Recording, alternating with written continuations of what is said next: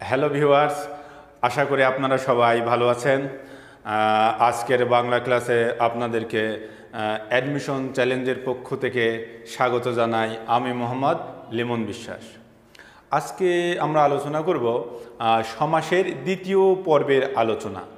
কেননা গত ক্লাসে আমরা সমাসের প্রথম পর্বের ক্লাস আমরা নিয়েছি সেখানে সমাস শব্দের অর্থ সমাসের সংজ্ঞা সমাসের উপাদান সমাসের প্রকারভেদ বিভিন্ন সমাসের বিভিন্ন ধরনের বৈশিষ্ট্য, এ সকল বিষয় নিয়ে কিন্তু আমরা আলোচনা করেছি। তো ভিউয়ার্স আজকে আমরা সেই আলোচনা আজকে করব না।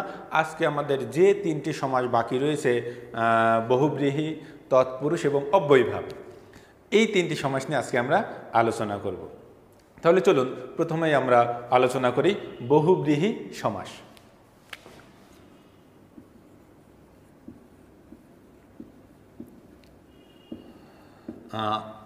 তার আগে আপনাদেরকে বলি যে আমি বলেছি যে গত ক্লাসে যে বহুব্রী সমাসে কোন পদের প্রাধান্য পায় সেখানে বলা হয়েছে যে আহ, বহু পদে পূর্বপদ এবং পরপদ এই দুইটি পদের কোনোটির অর্থই কিন্তু প্রাধান্য পায় না। তাহলে কি প্রাধান্য পায়? অন্য কোনো অর্থ প্রাধান্য পায়। অর্থাৎ নতুন একটি বা তৃতীয় কোনো পদ এসে এখানে কি করে? প্রাধান্য বিস্তার করে। আমি আবারও বলি যে বহুব্রী সমাসে পূর্বপদ এবং পরপদ। এই দুইটির কোনোটিরই অর্থ প্রাধান্য পায় না, ভিন্ন একটি অর্থ প্রদান করে। তাহলে আমরা একটু দেখে আসি যে বহুব্রী সমাসের কয়েকটি উদাহরণ যদি বলা হয় যে এই যে বহুব্রীহি, এই বহুব্রী সমাসটাকে কিন্তু আমরা ব্যাস বাক্যে রূপান্তর করতে পারি। এখন এই বহুব্রী সমাসে যদি আমরা ব্যাস বাক্য করি, তাহলে এর ব্যাস বাক্য দ্বারাই যে বহু, ব্রীহি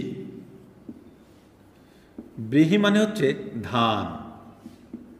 যে বহু ব্রীহি মানে বহু ব্রীহি বা বহু ধান আছে যার।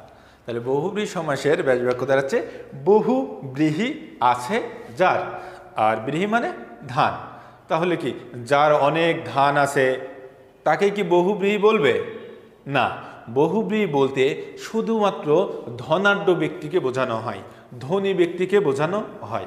তাহলে বহুব্রীহি আছে যার তাকে বলা হবে বহু ব্রীহি দেখুন এখানে বলছে যে বহুব্রী মানে কি? ধনী ব্যক্তি। ধনী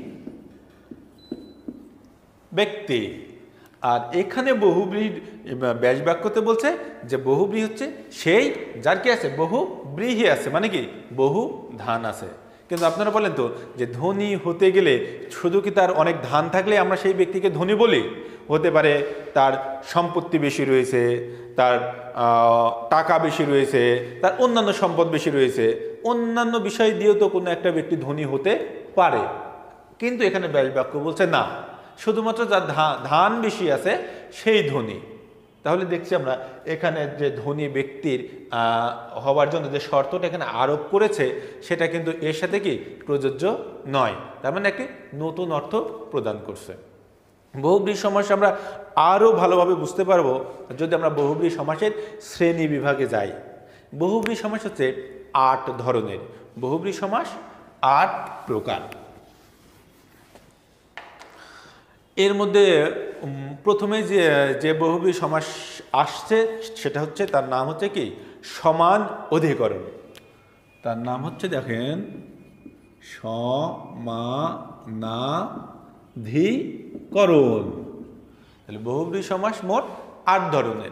এর মধ্যে প্রথমটি হচ্ছে কি? সমান অধিকরণ। আচ্ছা সমান অধিকরণ বহুব্রী শর্ত হচ্ছে যে বহুব্রী সমাসের ব্যাসবাকে যে দুইটা পদ থাকবে একটা পূর্বপদ এবং আরেকটা পরপদ। এই পূর্বপদ এবং পরপদের মধ্যে পূর্বপদ অবশ্যই বিশেষণ হবে। তাহলে আবারও বলছি, সমানাধিকরণ বহুব্রী তখনই হবে যে বহুব্রীহির পূর্বপদটা কি হবে? বিশেষণ হবে। সেটা হবে সমান অধিকরণ বহুব্রী। যেমন যদি বলা হয়,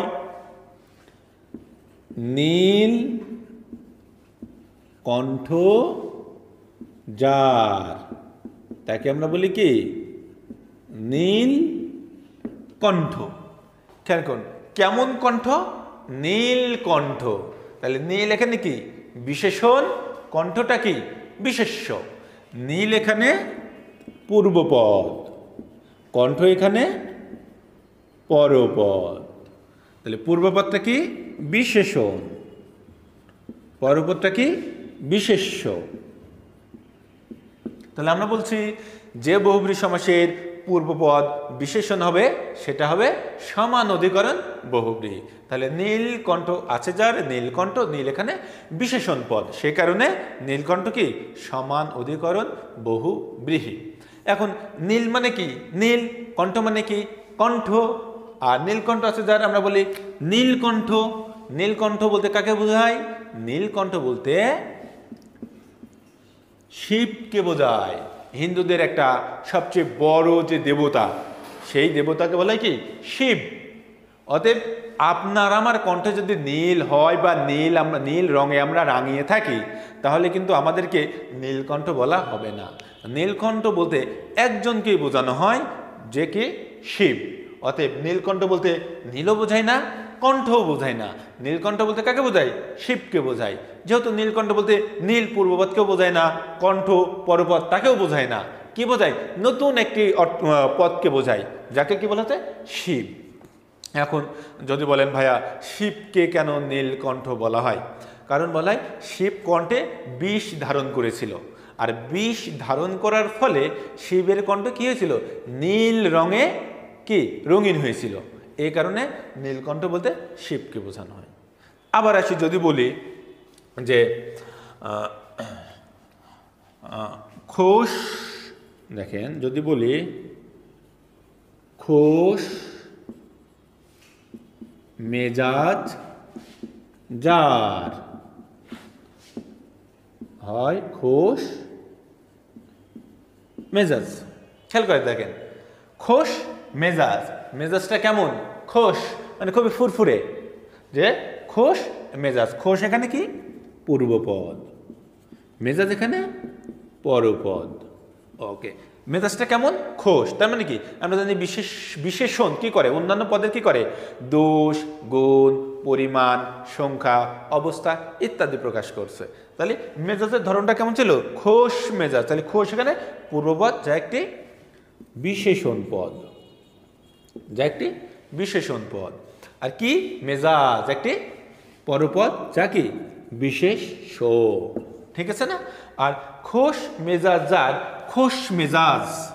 এই সমস্ত পদ খোশ মেজাজ দ্বারা খোশটাকেও বোঝায় না, আবার শুধু মেজাজটাকেও বোঝায় না। খোশ মেজাজ বলতে কি বোঝায়? যে খোশ মেজাজের কোনো এক ব্যক্তিকে বোঝায়। খোশ মেজাজের কোনো এক ব্যক্তিকে বোঝায়। আবারও দেখুন, খোশ মেজাজ বলতে খুশকেও বোঝায় না, মেজাজকেও বোঝায় না। কি বোঝায়? খোশ মেজাজ সম্পন্ন কোনো ব্যক্তিকে বোঝায়।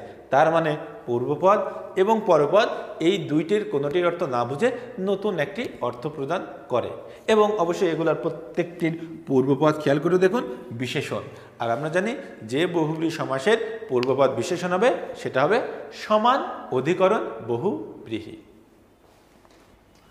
এরপরে আসি আমরা ব্যাধিকরণ বহুব্রীহি। এরপরে আমরা পড়ব ব্যাধিকরণ বহুব্রীহি।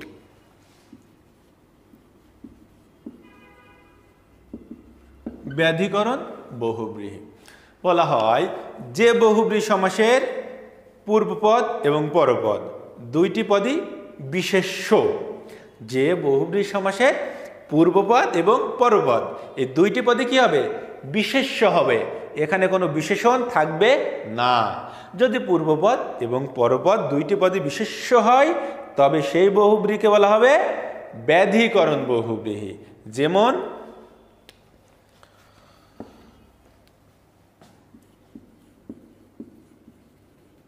আশিতে বিশ যার, তাকে বলা হবে কি? আশি বিশ। খেয়াল করে দেখুন। আশি মানে কি? দাঁত। বিষ মানে কি? বিষ আশি মানে দাঁত, বিশেষ্য পদ। বিষ মানে বিষ এটিও বিশেষ্য পদ। আর আশি বিষ বলতে বলা হয় আশি বিষ কিন্তু এই আশি বিষ দ্বারা আশি মানে দাঁতকেও বোঝায় না বিষ মানে বিষকেও বোঝায় না। আশি বিষ বলতে বোঝায় কি? সাপকে। আশি বিষ বলতে?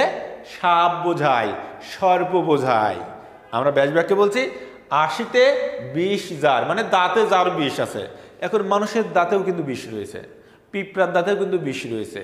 তাই বলে আমরা কি তাকে আশি বিষ বলতে পারি? না। কারণ আশি বিষ হচ্ছে সাপের একটি সমার্থক শব্দ। অতএব আশি বিষ বলতে আশিকেও বোঝায় না বিষকেও বোঝায় না। আশি বিষ বলতে কি বোঝায়? সাপকে বোঝায়। একটা নতুন অর্থ প্রদান করছে। তাহলে এটি কি? বহুব্রীহি সমাস। যদি বলি কোন বহুব্রীহি তখন আমরা দেখব পূর্বপদ বিশেষ্য, পরপদ বিশেষ্য। তাহলে দুইটা পদে যদি বিশেষ্য হয়, তাহলে সেই বহুব্রীকে কি বলা হবে? সেই বহুব্রীকে বলা হবে যে ব্যাধিকরণ বহুব্রীহি। কি বলা হবে? ব্যাধিকরণ বহুব্রীহি।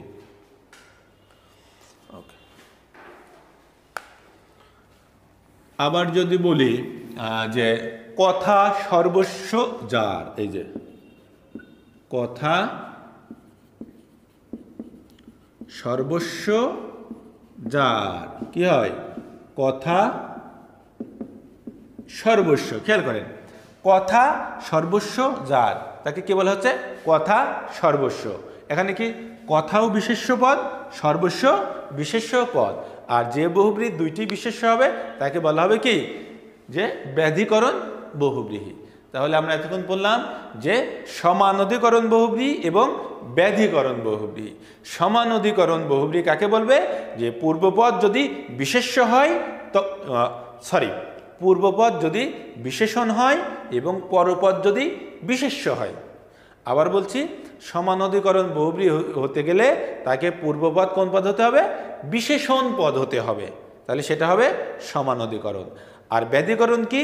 যে দুইটি পদই যদি পূর্বপদ এবং পরপদ এই দুইটি পদই যদি বিশেষ্য হয়, তবে তাকে বলা হবে ব্যাধিকরণ বহুব্রীহি তাহলে সমানধিকরণ এবং ব্যাধিকরণ, এই দুটির মধ্যে পার্থক্য কি?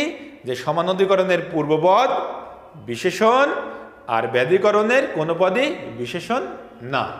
আশা করি বুঝতে পেরেছেন এবার আমরা আসব ব্যতিহার বহুব্রীহি। এবার আসব ব্যতিহার। বলা হয় ক্রিয়ার পারস্পরিক অর্থে। ক্রিয়ার মানে কি? ক্রিয়াপদের। পারস্পরিক মানে কি? পরস্পর। ক্রিয়াপদের পারস্পরিক অর্থে মানে পরস্পর যদি পরস্পর মিলে বা পারস্পরিক অর্থে যদি ক্রিয়াপদ সংগঠিত হয় মানে দুটি কর্তা কি করবে? তারা পরস্পর মিলে কি করবে? যে একই ক্রিয়া সংগঠিত করবে। যদি পরস্পর মিলে একই ক্রিয়া সংগঠিত করে, তবে সেই বহুব্রী সমাসকে বলা হবে ব্যতিহার বহুব্রী।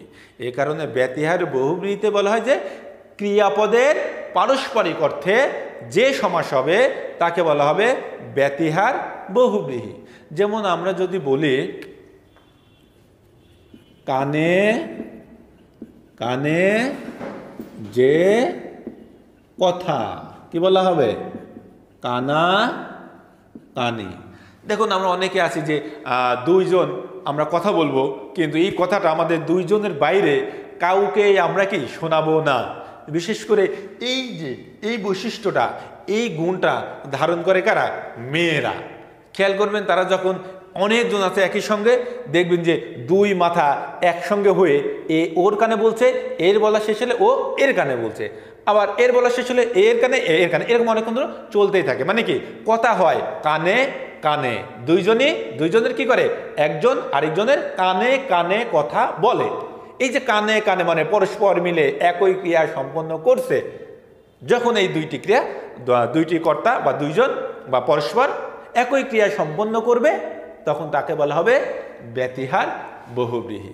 মেয়েদের আরেকটা বড় বৈশিষ্ট্য রয়েছে, দেখেন যে চুলে চুলে যে লড়াই, তাকে কি বলা হয়?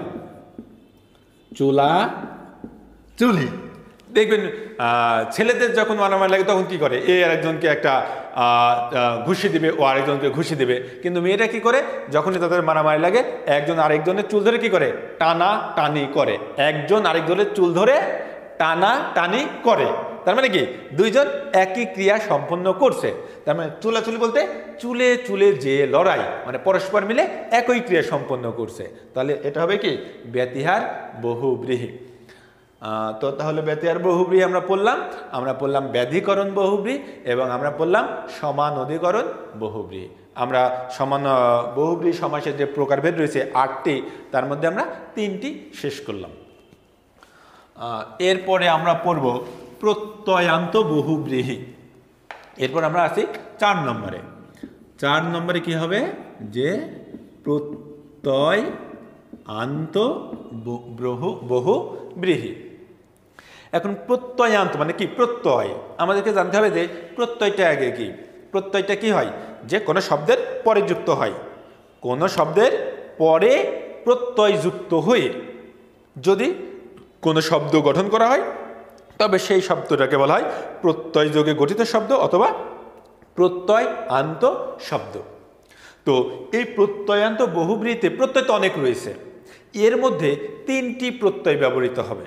অর্থাৎ আমি যে তিনটি প্রত্যয়ের কথা বলব, এই তিনটি প্রত্যয়ের মধ্যে কোনো একটি প্রত্যয় যদি ব্যয় বাক্যে যুক্ত হয়ে থাকে, তবে সেই বহুব্রী সমাজকে বলা হবে প্রত্যয় আন্ত বহুব্রীহি।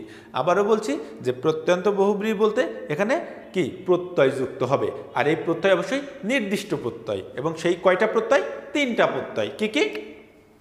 আ, ও, আর এ। অর্থাৎ যে বহুব্রী সমাসের সমস্ত পদ গঠনের পরে সেই সমাস নিষ্পন্ন বা সমাসবদ্ধ বা সমস্ত পদে যদি আ এ এবং ও। এই তিনটি প্রত্যয়ের কোনো একটি প্রত্যয় যদি যুক্ত হয়, তবে সেই বহুব্রী সমাসকে আমরা কি বলব? প্রত্যয় আন্ত বহু যেমন যদি বলি, দুই দিকে টান যার দুই দিকে টান যার যেমন আমাদের অনেকের কি রয়েছে? ঘরে বউ থাকে। তারপরে কি হয়? যে আমরা বাইরে আরও পরক্রিয়া করি। বিশেষ করে ছেলেরা আছে, যে ঘরে বউ থাকে, বউ থাকার পরেও আমরা কি করি? বাইরে টাঙ্কি মারি মানে অন্যজনের বউ বা কোনো জুনিয়রের সঙ্গে। এবং দেখা যায় ঘরে শুয়ে আছি, বউ তো আছে, এদিকে তো একটা মন আছে, কিন্তু ঘরের বাইরেও গিয়েও কি রয়েছে? আরেকজনের উপর কি? আমার মনটা কি হয়? যে টানে। তার মানে কি? আমি মানুষ একজন এবং আমার মনটা কোন দিকে? দুই দিকে। একটা ঘরে, একটা কি? বাইরে। ঘরে এবং কি? বাইরে। তার মানে বলা হচ্ছে দুই দিকে মন যার বা দুই দিকে টান যার। যদি দুই দিকে টান যার থাকে, তাহলে আমরা কি বলি? যে দোটানা। দো টানা দুই দিকে টান যার, তাকে কি বলে? দোটানা। আবার যদি বলি দুই দিকে মন যার, তাহলে কি হয়? দো মোনা তাহলে কি বলা হবে? দো মোনা খেয়াল করে দেখেন দো টানা আ প্রত্যয় যুক্ত হয়েছে সমস্ত পদে। দো মোনা আ প্রত্যয় যুক্ত হয়েছে কি সমস্ত পদে। আবার যদি বলি দেখেন যে বললাম যে ঘরে বউ আছে ঘরে মন নাই বাইরে মন রয়েছে বা দুই দিকেই মন রয়েছে। এবার দেখা যায় যে অনেকে নতুন বিয়ে করে করার পরে কিন্তু ঘর থেকে আর কখনো বের হতে চায় না। শুধু ঘরেই থাকতে চায়। তখন আমরা কি বা যদি কখনো বাইরে আসে শুধু ছটফট ছটফট করে কি? ঘরে যাওয়ার জন্য। সবসময় তার মনটা কোন দিক থাকে? ঘরের দিকে যাওয়ার জন্য। যখন যে কারোর মন যদি ঘরের দিকে থাকে বা ঘরের দিকে সবসময় যেতে চায়, তাহলে আমরা কি বলি? যে ঘরের দিকে মুখ যার, ঘরের দিকে মুখ যার, আমরা তাকে কি বলি? ঘর মুখ। খেয়াল করে দেখেন যে ঘরের দিকে মুখ যার, তাকে আমরা বলি কি? ঘর মুখ। ঘর মুখ।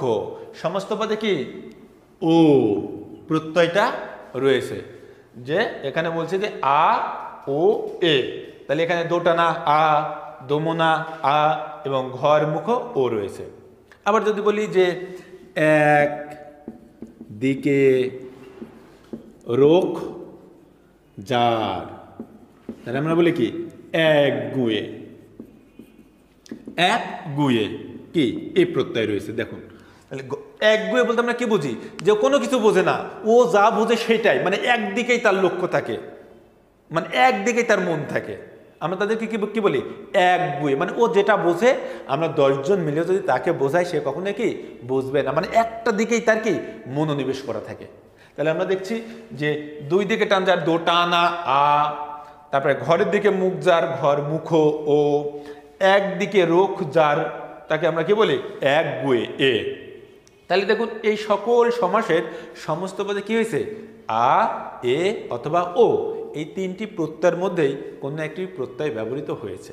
আর বহুব্রী সমাসের সমস্ত পদে যদি তিনটি পদের কোনো একটি প্রত্যয় যুক্ত থাকে, তবে আমরা সেই বহুব্রীকের সমাসকে আমরা বলতে পারব কি? প্রত্যয় আন্ত বহুব্রীহি ওকে। এরপরে আমরা পড়ব সংখ্যাবাচক বহুব্রীহি এরপরে আমরা পড়ব সংখ্যাবাচক বহুব্রীহি পাঁচ নম্বর। কি? সংখ্যা বাচক বহুব্রীহি। সংখ্যাবাচক মানে কি? যে বহুব্রী সমাসের পূর্বপদ সংখ্যা দিয়ে শুরু হবে। যে বহুব্রী সমাসের পূর্বপদটা কি দিয়ে শুরু হবে? সংখ্যা দিয়ে শুরু হবে। আর যে বহু, বহুব্রীহি সমাসের পূর্বপদ সংখ্যা দিয়ে শুরু হবে, সেই বহুব্রীকে আমরা বলব সংখ্যাবাচক বহুব্রীহি। অর্থাৎ বহুব্রী সমাসের পূর্বপদ সংখ্যা হলেই সংখ্যাবাচক বহুব্রীহি। যেমন, যদি বলি, দশ আনন যার, কি? দশানন। দশা নন কি দিয়ে শুরু হয়েছে? দশ দিয়ে শুরু হয়েছে। তাহলে কোন বহুব্রীহি? সংখ্যাবাচক বহুব্রীহি। আবার যদি আমরা বলি যে, চার চালা আছে যার। কি হবে? চৌচালা। কি হবে? চৌচালা। তাহলে আমরা দেখব যে দুইটি সমাসেরই ব্যাস বাক্যের কি পূর্বটা কি দিয়ে শুরু হয়েছে? সংখ্যা দিয়ে শুরু হয়েছে। তাহলে এই বহুব্রীকে বলা হবে কি? সংখ্যাবাচক বহুব্রীহি। এখন আপনারা বলতে পারেন, ভাইয়া দ্বিগু সমাস আমরা গত ক্লাসে পড়েছি। দ্বিগু সমাসও সংখ্যা দিয়ে শুরু হয়। আবার সংখ্যাবাচক বহুব্রী সমাসও সংখ্যা দিয়ে শুরু হয়। একটু ভালো করে বুঝে নেবেন। এই জায়গাতে আপনাদের উভয়েরই কি একটা দ্বন্দ্ব সৃষ্টি হয়ে থাকে। যে ভাই সংখ্যা দিয়ে শুরু হলে তো আমরা জানি দ্বিগু সমাস হয়। আবার এখন বলছেন, সংখ্যা দিয়ে শুরু হলে বহুব্রী সমাস হয়। তাহলে আমরা কীভাবে বুঝব যে কখন সংখ্যা দিয়ে শুরু হলে দ্বিগু আর কখন সংখ্যা দিয়ে শুরু হলে কি? বহুব্রী সমাস। খেয়াল করুন যে আমরা বলেছিলাম যে দ্বিগু সমাসে কোন পদের প্রাধান্য পাই? দ্বিগু সমাসে পরপদের প্রাধান্য পাই। কিন্তু সেটা পূর্বপদ সংখ্যাবাচক হবে। পূর্বপদ সংখ্যাবাচক হবে, কিন্তু কি? সমাসে কোন পদ প্রাধান্য পাবে?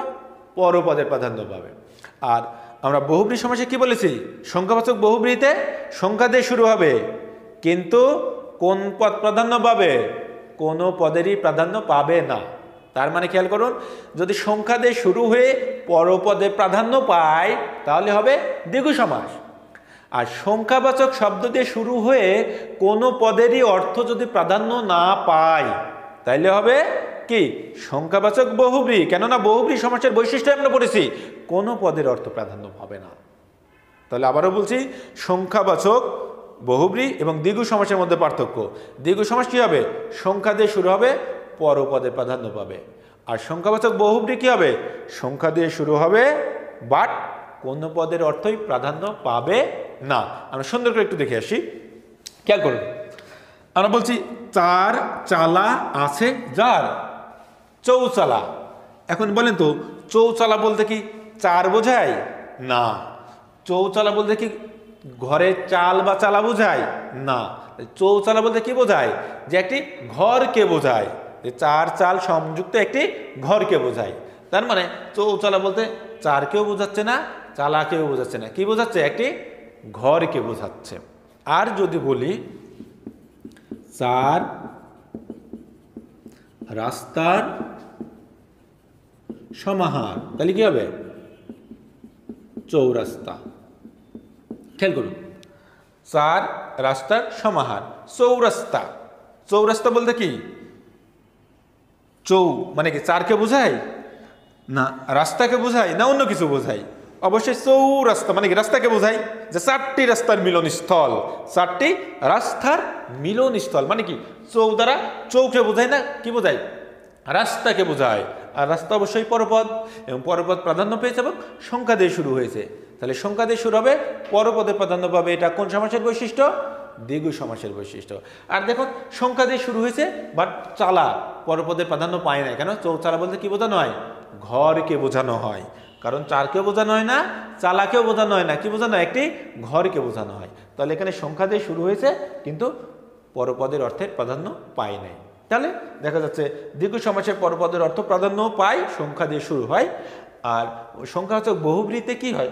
সংখ্যা দিয়ে শুরু হয় বা পরপদের অর্থ প্রাধান্য পায় না। দেখুন, উপরে লিখেছে কি? যে দশ আনন্দ যার। দশ মানে দশ আনন্দ মানে হাত। দশ মানে কি? দশ আর আনন্দ মানে সরি আনন্দ মানে হচ্ছে মুখ। মানে দশ আনন্দ মানে দশ মুখ আছে যার। তাকে কি বলা হবে? দশানন। তার মানে কি? দশানন বলতে আমরা কি দশকে বুঝিও না, আবার আনন্দকেও বুঝি না। আমরা দশানন বলতে কাকে বুঝি? দশানন বলতে আমরা কি? রাবণকে বুঝি। রাবণকে বুঝি। তাহলে খেয়াল করুন, দশানন বলতে দশ বোঝায় না, আবার আনন্দকেও বোঝায় না। কি বোঝায়? রাবণকে বুঝি। তাহলে সংখ্যা দিয়ে শুরু হয়েছে এবং দুই পদের কোনো পদের অর্থই প্রাধান্য পায় নাই। তাহলে সেটা হবে সংখ্যাবাচক বহুব্রীহী। তাহলে দীর্ঘ সমাস সংখ্যা দিয়ে শুরু হবে, সংখ্যাবাচক বহুব্রীহ সংখ্যা দিয়ে শুরু হবে। পার্থক্যটা কি? দীর্ঘ সমাসে পরপদে প্রাধান্য পাবে আর সংখ্যাবাচক বহুব্রীতে কোনো পদের অর্থই প্রাধান্য পাবে না। এবার আমরা আমরা শেষ করলাম পাঁচটি। এবার রয়েছে আরেকটা, সেটা হচ্ছে কি? যে মধ্য পদলোপী ছয় নম্বর। মধ্য পদলোপী যে মধ্যপদ, যে বহুব্রী সমাসের কি হবে? মধ্যপদের বা মাঝের পদের কি হবে? লোপ হবে। তাকে বলা হবে মধ্য পদলোপী বহুব্রীহী। যেমন আমরা যদি বলি যে গায়ে হলুদ,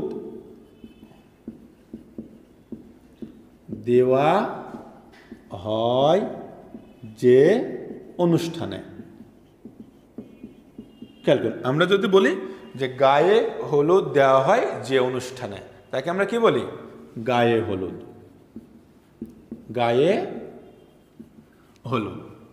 এখন খেয়াল করে দেখুন যে গায়ে হলুদ, তাকে বলা হয় গায়ে হলুদ। মানে গায়ে হলুদ এখন বলতে কিন্তু একটা বিশেষ অনুষ্ঠানকে বোঝানো হয় সেটা হচ্ছে কি? বিয়ের। একটি কি? বিয়ের অনুষ্ঠান। এখন আপনি অনেক অনুষ্ঠানে আপনি স্বেচ্ছায় কিন্তু গায়ে হলুদ দিতে পারেন, সেটা কিন্তু ফ্যাক্ট না। ফ্যাক্ট হচ্ছে কি? গায়ে হলুদ বলতে দেখুন, আমাদের কল্পনায় ভেসে মানে ভেসে ওঠে কি? একটি বিয়ে। তার মানে গায়ে হলুদ বলতে গায়েকেও বোঝায় না হলুদকেও বোঝায় না। গায়ে হলুদ বলতে একটি বিশেষ অনুষ্ঠানকে বোঝায় এবং সেই বিশেষ অনুষ্ঠান অনুষ্ঠানটা কি সম্পর্কিত? বিয়ে সম্পর্কিত। এবং গায়ে হলুদ সম্পর্কিত এখানে লোপ পেয়েছে কি? দেখেন অনুষ্ঠান। কি? এটা হচ্ছে অনুষ্ঠান বা দেওয়া হয় যে অনুষ্ঠানে সকল কিছু লোপ পেয়েছে। আর ব্যবহৃত হয়েছে কি? গায়ে আর হলুদ। এখন আপনারা বলতে পারেন, ভাইয়া, এখান থেকে তো লোপ পেয়েছে শেষের অংশ। এখানে তো প্রথম অংশ বা তারপরেরটা এখানে স্থান পেয়েছে, কিন্তু লোপ হয়েছে শেষের অংশ। কিন্তু আপনি তো সংজ্ঞাতে বললেন যে মাঝের পদে লোপ হবে। খেয়াল করে দেখুন, সমাসের সমস্ত পদে সবসময় দুইটা পদ থাকে, একটা পূর্বপদ এবং একটা পরপদ। তাহলে গায়ে হলুদ, পূর্বপদ কি? গায়ে। পরপদ কি? হলুদ। এই পূর্বপদ এবং পরপদ বাদে যত পদই থাক, সকল পদকে মধ্যপদ হিসেবে গণ্য করা হয়। সে আগে থাক, পরে থাক, যেখানেই থাক না কেন বা মাঝেই থাক, তাকে বলা হয় মধ্যপদ। তাহলে সমস্ত পদের প্রথমেরটা পূর্বপদ, পরেরটা পরপদ। এই দুইটা বাদে যে পদে থাক না কেন সে যেখানেই থাক, সেটা হচ্ছে কি? মধ্যপদ। তাহলে এইটুকু আমরা বলব মধ্যপদ। কারণ এটা পূর্বপদ, এটা পরপদ, এই পূর্বপদ এবং পরপদ বাদে যা থাকবে সবগুলোকে কি বলা হবে? মধ্যপদ বলা হবে। সে যেখানেই অবস্থান করুক না কেন।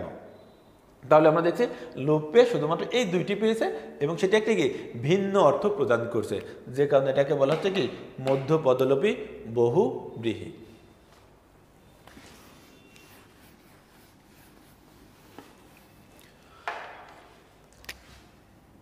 ছয়টা শেষ করলাম, এবার আসছে কি? অলোক বহু ব্রীহি অলোক বহু ব্রীহি আমরা দেখুন যে যখন আমরা প্রথম সমাসের প্রথম ক্লাস করেছি সেখানে কিন্তু দ্বন্দ্ব সমাসের শ্রেণীবিভাগ পড়াতে গিয়ে আমরা কিন্তু পড়িয়েছি যে কি আহ, অলুক সমস্ত পদ গঠনের পরে সেখানে কি হয় পূর্বপদ এবং পরপদ থেকে যদি বিভক্তি লোপ না পায় তাহলে তাকে কি বলা হবে? অলুক সমাজ বলা হবে। এখন বহু ব্রীহির একটি শ্রেণীবিভাগ হচ্ছে কি? অলুক বহুব্রীহি মানে যে বহুব্রীহি সমাসের পূর্বপদ এবং পরপদ থেকে কি হবে না? সমস্ত পদ গঠনের সময় বিভক্তি লোপ পাবে না। তাকে বলা হবে অলুক বহুব্রী। আবার খেয়াল করুন যে যে বহুব্রী সমাসের ব্যাস বাক্যের পূর্বপদ এবং পরপদ থেকে বিভক্তি লোপ না পেয়ে সমস্ত পদ গঠিত হবে। অর্থাৎ ব্যাস বাক্যের পূর্বপদ এবং পরপদের সঙ্গে যে বিভক্তি যুক্ত থাকবে সমস্ত পদ গঠনের পরেও সমস্ত পদের পূর্বপদ এবং পরপদের সঙ্গে একই বিভক্তি যুক্ত থাকবে। তখন সেটা হবে কি? অলুক, বহু, ব্রীহি। দেখুন যদি বলি,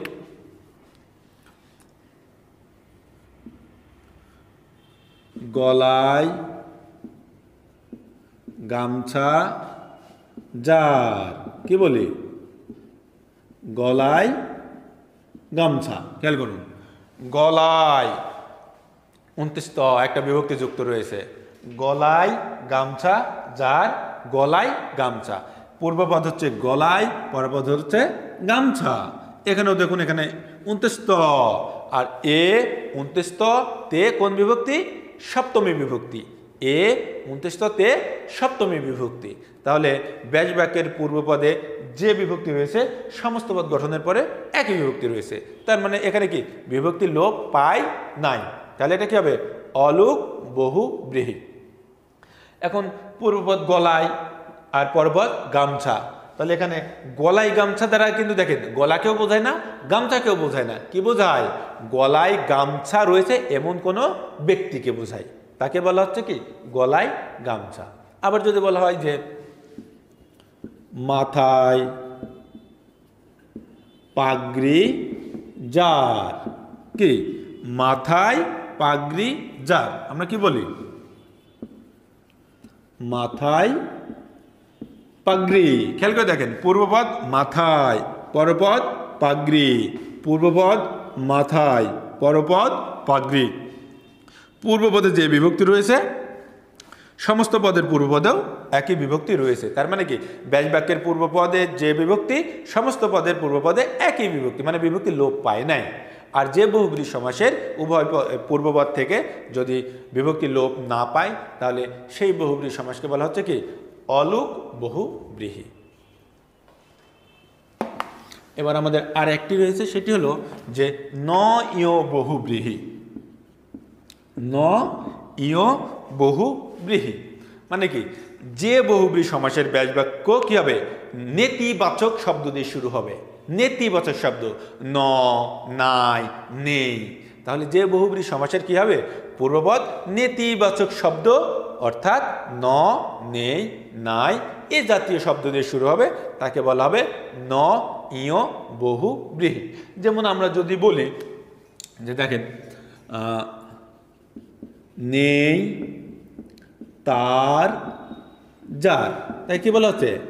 বেতার। নেই তার, যার, বেতার। বেতার বলতে কি? তারকে বোঝায় না বেতার বলতে কি? বিশেষ যন্ত্রকে বোঝায়। তাহলে দেখুন, বেতার বলতে বেকেও বোঝায় না, তারকেও বোঝায় না।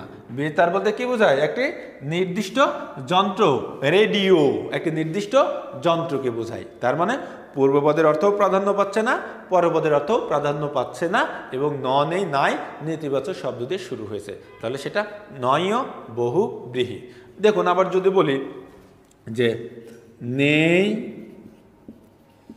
হায়া, যার, তাহলে কি বলি? বেহায়া খেয়াল করুন। বেহায়া। বেহায়া বলতে বেকেও বুঝি না, হায়াকেও কিন্তু আমরা বুঝি না। বেহায়া বলতে কি? হায়া নাই এমন এক ব্যক্তিকে বোঝাই।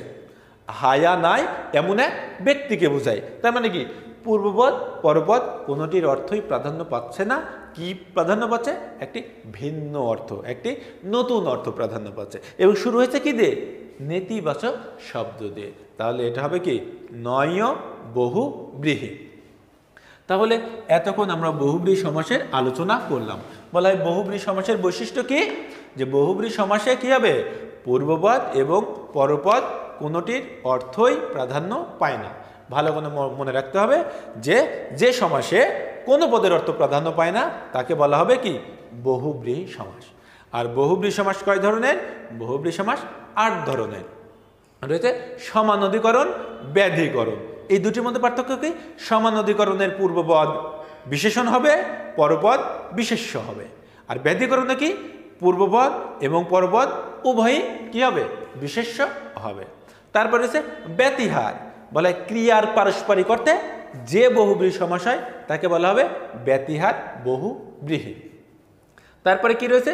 প্রত্যয়ান্ত বহুব্রী যে যে সকল বহুব্রী সমাসের সমস্ত পদে প্রত্যয় যুক্ত হবে। এবং এই প্রত্যয় নির্দিষ্ট। কি কি? আ, এ, ও। এই তিনটি প্রত্যয়ের কোনো একটি প্রত্যয় যদি বহুব্রী সমাসের সমস্ত পদে যুক্ত থাকে, তাহলে তাকে কি বলা হবে? প্রত্যয় আন্ত বহুব্রীহি। তারপরে কি রয়েছে? মধ্যপদলোপী বহুব্রীহি। যে বহু বহুব্রী সমাসের পূর্বপদ এবং পরপদ বাদে যা পদ রয়েছে, যে সকল পদ রয়েছে, সকল পদে কি হয়? লোপ পায়। তাকে কি বলা হবে? মধ্য পদলোপী বহুব্রীহি। তারপরে হচ্ছে সংখ্যাবাচক বহুব্রী, যে যে বহুব্রী সমাস সংখ্যা দিয়ে শুরু হবে, অর্থাৎ যে বহুব্রী সমাসের পূর্বপদ সংখ্যাবাচক শব্দ থাকবে, তাকে কি বলা হবে? সংখ্যাবাচক বহুব্রী। তারপরে সাত নম্বরে রয়েছে কি? অলুক বহুব্রী, যে সমাসের ব্যাস বাক্যের পূর্বপদে বিভক্তি, সমস্ত পদ গঠনের পরেও সেই বিভক্তি বিদ্যমান থাকে। অর্থাৎ পূর্বপদ থেকে বিভক্তি লোপ পায় না। তাকে বলা হবে অলোক বহুব্রীহি। আর আট নম্বরে রয়েছে ন ইয় বহুব্রীহি, যে যে বে- বহুব্রীহি সমাসের কি ব্যাসবাক্য নেতিবাচক শব্দ দিয়ে শুরু হবে। ন নে নাই দিয়ে শুরু হবে, সেটা হলো কি? নয় বহুব্রীহি। তাহলে এতক্ষণ আমরা বহুব্রীহি সমাস এবং বহুব্রীহি সমাসের যে ক্লাসিফিকেশন নিয়ে আলোচনা করেছি, আশা করি আপনারা সবাই বুঝতে পেরেছেন। এই ছিল আমাদের বহুব্রী সমাস নিয়ে কি বিস্তারিত আলোচনা। তো ধন্যবাদ সবাইকে, আমরা এখন বহুব্রী সমাসটা শেষ করে আমরা নতুন একটি সমাস নিয়ে এখন আলোচনা করব, যে সমাস হলো কি? নাম হলো তৎপুরুষ সমাস।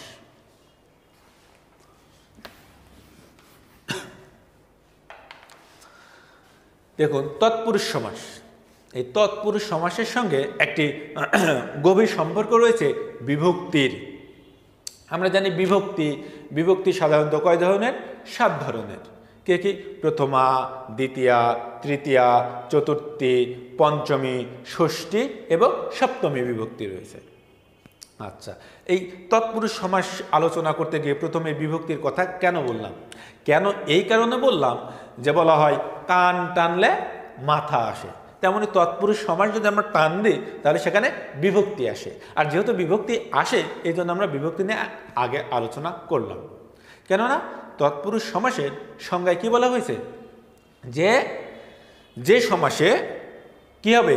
পূর্বপদ থেকে বিভক্তি লোপ পাবে। পূর্বপদ থেকে যদি বিভক্তি লোপ পেয়ে সমস্ত পদ গঠন করে, তবে সেই সমাসকে বলা হবে তৎপুরুষ সমাস। আবারও বলি যে ব্যাস বাক্যে পূর্বপদ এবং পরপদ থাকবে। সমস্ত পদ গঠনের সময় কি হবে? পূর্বপদ থেকে বিভক্তি লোপ পাবে। আর পূর্বপদ থেকে বিভক্তি লোপ পেয়ে যে সমাস বা যে সমাসবদ্ধ শব্দ বা যে সমাস নিষ্পন্ন শব্দ বা যে সমস্ত পদ গঠিত হবে, সেই সমস্ত পদটাকে বলা হবে কি? যে তৎপুরুষ সমাস। তাই তৎপুরুষ সমাসের প্রধান বৈশিষ্ট্যটা কি হবে? পূর্বপদ থেকে বিভক্তি লোপ পাবে। তাহলে বিভক্তি লোপ পেয়ে যে সমাজ গঠিত হয়, তার নাম কি? তৎপুরুষ সমাস। এই দেখুন, দ্বন্দ্ব লাগতে পারে অলুকের সাথে। অলুকে কি? অলুক এবং তৎপুরুষ বিপরীত সমাস কিন্তু। অলুকে বিভক্তি লোপ পাবে না। আর তৎপুরুষে কি? বিভক্তি লোপ পাবে। তাহলে অলুক এবং তৎপুরুষ একে অপরের বিপরীত সমাস। তাহলে তৎপুরুষ সমাসে কি হবে? বিভক্তি লোপ পাবে। এবার আমরা জানি প্রথমা বা শূন্য বিভক্তি বলে এমন কোনো বিভক্তি নেই যে আমরা দেখতে পারি। মানে যেখানে কোনো বিভক্তি নাই বলা চলে, সেখানে কি হয়? প্রথমা বিভক্তি হয়। তাহলে আমরা দেখতে পারি কোন কোন বিভক্তি? দ্বিতীয়া থেকে সপ্তমী পর্যন্ত। এই তৎপুরুষ সমাস হলো আবার নয় ধরনের। তৎপুরুষ সমাস নয় ধরনের। এর মধ্যে প্রথম ছয়টা প্রথম ছয়টা হচ্ছে যখন যে বিভক্তি লোপ পাবে, সেই বিভক্তির নামে সেই প্রথম ছয়টা তৎপুরুষ সমাসের নামকরণ হবে। যেমন আমরা জানি যে দ্বিতীয় বিভক্তি কি কি একটু বলি? কে, রে। তৃতীয়া, দ্বারা, দিয়া, কর্তৃক। চতুর্থী, কে, রে। পঞ্চমী, হইতে, থেকে, চেয়ে। ষষ্ঠী, এ উনতেস্ত তে। খেয়াল করে দেখুন, দ্বিতীয় বিভক্তি আমি বলেছি কে, রে। চতুর্থী বিভক্তিও কে, রে। তাহলে দুইটা একই। তাহলে কখন দ্বিতীয় কখন চতুর্থী? আমরা জানি যে সম্প্রদান সূচক বাক্য, সম্প্রদান মানে কি? নিঃশর্তভাবে দান করা। সম্প্রদান সূচক বাক্যে কেরে চতুর্থী বিভক্তি। আর সম্প্রদান সূচক বাক্য ব্যতীত যত বাক্য রয়েছে, সকল জায়গায় এই কেরে হচ্ছে দ্বিতীয় বিভক্তি। আমি চলুন, আমরা একটু উদাহরণের মাধ্যমে আরও বিস্তারিত আলোচনা করে আসি। তাহলে প্রথমে আমরা আলোচনা করব দ্বিতীয় তৎপুরুষ। কেন দ্বিতীয় তৎপুরুষ? কারণ দ্বিতীয় বিভক্তি লোপ পেয়ে যে সমাজ গঠিত হবে, তার নামই হবে দ্বিতীয় তৎপুরুষ। যদি আমরা বলি, দুঃখকে প্রাপ্ত। দেখুন, দুঃখকে প্রাপ্ত, কি হবে? দুঃখ প্রাপ্ত। খেয়াল করে দেখুন, দুঃখকে প্রাপ্ত, দুঃখ প্রাপ্ত। দুঃখের সঙ্গে কোন বিভক্তি ছিল? কে বিভক্তি ছিল? আর সমস্ত পদ গঠনের সময় কে বিভক্তি? লোপ পেয়েছে। আর কে বিভক্তি যদি লোপ পায়, তাহলে সেটা হবে কি? দ্বিতীয়া তৎপুরুষ। কি হবে এটা? দ্বিতীয়া তৎপুরুষ। এবার আসুন, তৃতীয়া তৎপুরুষ। মধু দ্বারা মাখা, কি হবে? মধু মাখা। দ্বারা দিয়া কর্তৃক, এটা হচ্ছে তৃতীয় বিভক্তি। দ্বারা দিয়া কর্তৃক, এগুলা কি? তৃতীয় বিভক্তি। আর তৃতীয় বিভক্তি লোপে যে সমাস হবে বা যে তৎপুরুষ সমাস হবে, তার নাম তৃতীয়া তৎপুরুষ। তাহলে দুঃখকে প্রাপ্ত? দুঃখ প্রাপ্ত কে বিভক্তি লোপ পেয়েছে? আর কে রে? দ্বিতীয় বিভক্তি, তাহলে দ্বিতীয় তৎপুরুষ। বিপদকে আপন্ন। বিপদকে আপন্ন, বিপদাপন্ন। কে বিভক্তি লোপ পেয়েছে? তাহলে এটা দ্বিতীয় তৎপুরুষ। মধু দ্বারা মাখা দ্বারা তৃতীয় বিভক্তি, অতএব তৃতীয় তৎপুরুষ। যদি বলি শ্রম দ্বারা লব্ধ, শ্রম লব্ধ। শ্রম দ্বারা লব্ধ শ্রমলব্ধ তৃতীয় বিভক্তি দ্বারা দেওয়া কর্তৃক, তাহলে এটা তৃতীয়া তৎপুরুষ। চতুর্থী তৎপুরুষ। যে গুরুকে ভক্তি। গুরুকে ভক্তি। কি হবে? গুরু ভক্তি। গুরুকে কে? আমরা জানি কে রে? দ্বিতীয় এবং চতুর্থী বিভক্তি হয়। এটা কেন চতুর্থ বিভক্তি? কারণ দেখেন গুরুকে ভক্তি। গুরুকে ভক্তি করে আমরা কি বলি? এই ভক্তির বিনিময়ে আমাকে একটা পারিশ্রমিক দিতে হবে? না। ওটা আমরা স্বেচ্ছাই করি। অন্তর থেকে আমরা সেটা শ্রদ্ধা জ্ঞাপনের জন্য প্রদর্শন করি এবং সেটা বিনা মূল্যে নিজ থেকে কোনো ধরনের শর্ত ব্যতি রেখে নিঃস্বার্থভাবে দান করি। এ কারণে এখানে হচ্ছে কে কি? চতুর্থী বিভক্তি। আর যেহেতু কে এখানে চতুর্থী বিভক্তি এবং এই চতুর্থী বিভক্তি লোপ পেয়েছে, এখানে গুরুভক্তি হবে কি? চতুর্থী তৎপুরুষ। এবার আসি আমরা পঞ্চমী তৎপুরুষ। পঞ্চমী বিভক্তি কি কি? হইতে থেকে চেয়ে। যেমন যদি বলি, বিলেত থেকে ফেরত, কি হবে? বিলেত ফেরত। খেয়াল করুন বিলেত থেকে ফেরত। বিলেত আছে, ফেরত আছে। লোপ পেয়েছে কি? থেকে।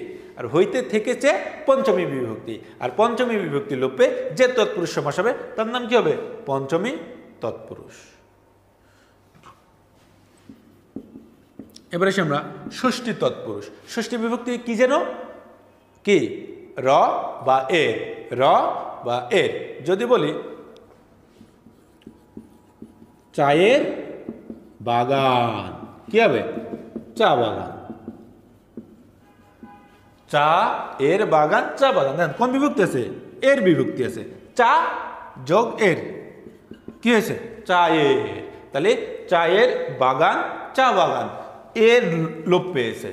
এর ষষ্ঠী বিভক্তি। আর যেহেতু ষষ্ঠী বিভক্তি লোপ পেয়েছে, সেহেতু চায়ের বাগান, চা বাগান কি হবে?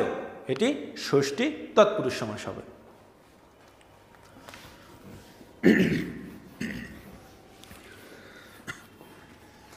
এবার রয়েছে সপ্তমী তৎপুরুষ। এ উনত্রিশ তে। যদি বলি সপ্তমী তৎপুরুষ। গাছে পাকা কি হবে?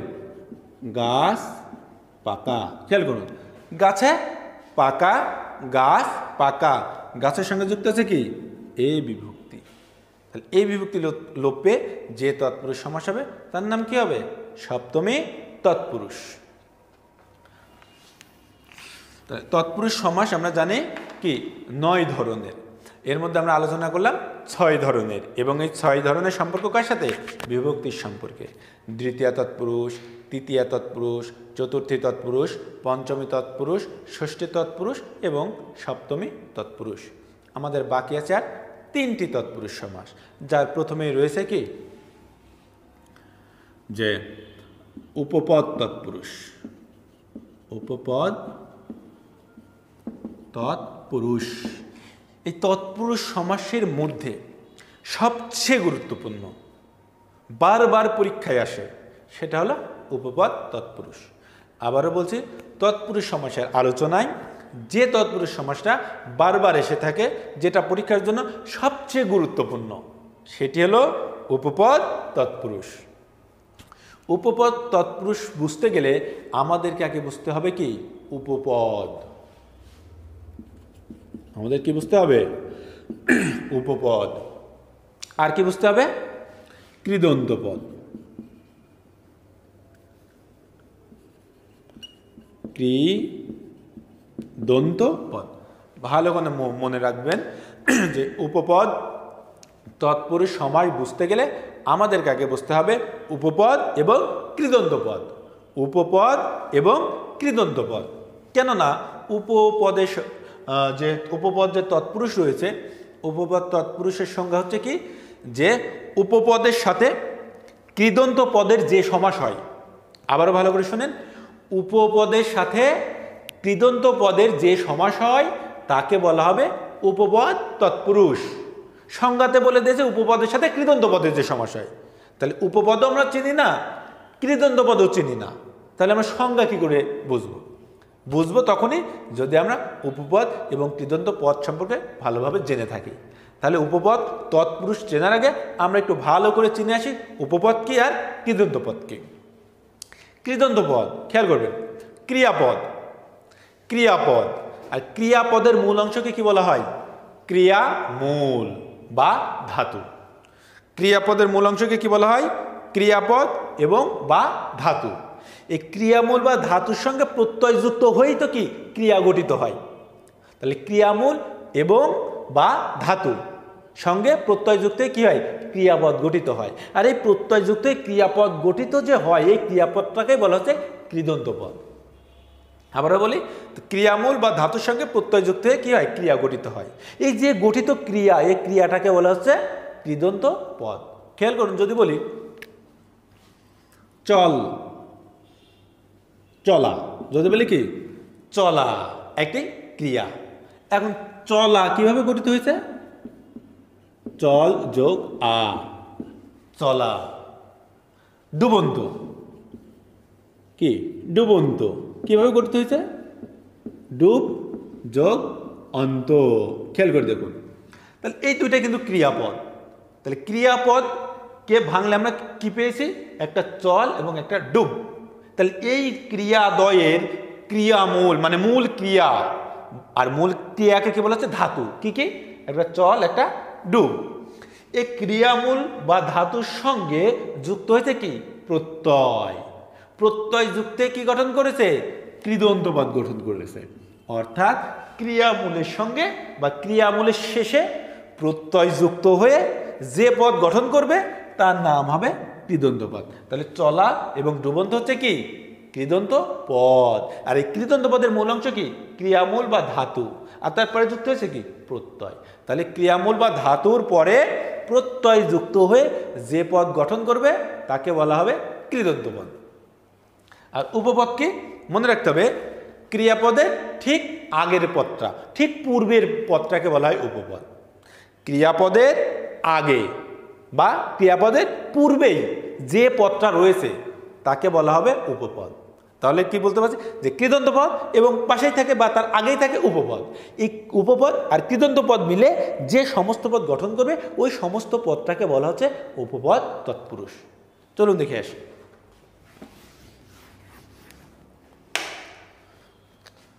যদি বলি দেখেন, জলে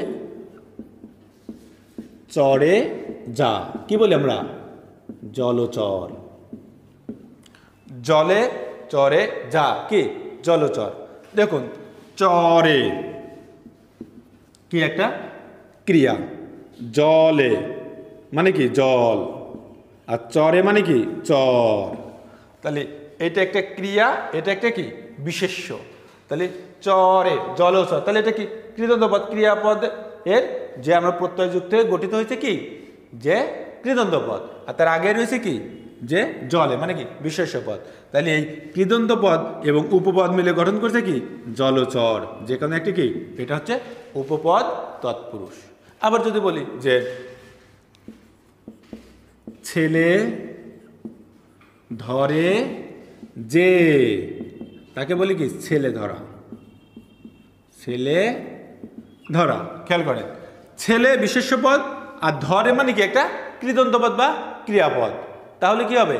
যে কৃদন্তপদ এবং কি? উপপদ মিলে গঠন করেছে কি? ছেলে ধরা, যা একটি উপপদ তৎপুরুষ। এবং তাহলে আমরা এখন বললাম কি? উপপদ তৎপুরুষ। তাহলে ওদিকে ছয়টা আর এদিকে একটা সাতটা। আমাদের আর রয়েছে দুই ধরনের তৎপুরুষ। এবার রয়েছে কি? অলুক তৎপুরুষ। অলুক মানে কি? যে তৎপুরুষ সমাসে কি? বিভক্তি লোপ পাবে না। অলুক মানে বিভক্তি লোপ পাবে না। তাহলে যে তৎপুরুষের বিভক্তি লোপ পাবে না, তাকে কি বলা হবে? অলুক তৎপুরুষ। যেমন আমরা যদি, অলুক তৎপুরুষ। যেমন আমরা যদি বলি, গায়ে পড়া। কি হবে? গায়ে পড়া। গায়ে পড়া। গায়ে, এই বিভক্তি আছে? এখানে এই বিভক্তি আছে। সেটা কি হচ্ছে তাহলে? যে অলুক তৎপুরুষ। আবার যদি বলি, কলে ছাটা। কি হবে? কলে ছাটা। খেয়াল করুন পূর্বপদ কি? কলে, এ বিভক্তি। পূর্বপদ কি? এ, কলে। এখানেও কি? এ বিভক্তি। মানে কি? বিভক্তির লোপ হয় নাই। আর যে তৎপুরুষ সমাসে বিভক্তি লোভ হবে না, তাকে বলা হবে কি? অলোক তৎপুরুষ। আর লাস্টে আমাদের রয়েছে কি? ন তৎপুরুষ। একটু আগে আমরা পড়ে এসেছি, ন বহুব্রী। যে বহুব্রী সমাস নেতিবাচক শব্দ ন নেই, নাই দিয়ে শুরু হয়, তাকে বলা হবে ন ইয় বহুব্রীহি আর ন ইয় তৎপুরুষ কি? যে তৎপুরুষ সমাস নেতিবাচক ন নেই নাই দিয়ে শুরু হবে, তাকে বলা হবে কি? ন ইয় তৎপুরুষ। যদি আমরা বলি দেখেন, নেই, তাল যার কি বলা হবে? বেতাল। নেই, সুর। সরি নেই তাল, বেতাল। আর নেই সুর, অসুর। তার মানে কি? এই সকল সমাসের ব্যাসবাক্য ন নেই, নাই দিয়ে শুরু হয়েছে। এবং সেগুলো কি? একটি নেতিবাচক শব্দ। অতএব এগুলো হচ্ছে কি? ন ইয় তৎপুরুষ। তাহলে আমরা বললাম তৎপুরুষ সমাস নয় ধরনের। দ্বিতীয় তৎপুরুষ, তৃতীয়া, চতুর্থী, পঞ্চমী, ষষ্ঠী, সপ্তমী এবং উপপদ, অলুক এবং ন। এ পর্যন্ত আমাদের তৎপুরুষ সমাসের আলোচনা শেষ করেছি। আশা করি আপনারা সবাই বুঝতে পেরেছেন। ধন্যবাদ সবাইকে।